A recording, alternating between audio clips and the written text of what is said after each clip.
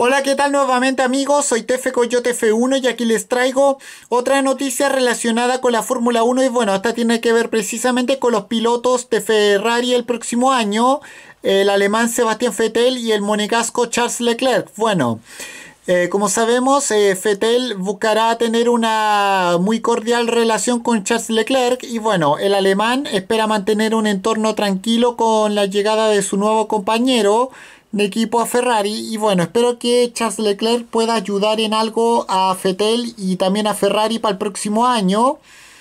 Y espero que eh, Fettel también no cometa muchos errores como los que cometió este año.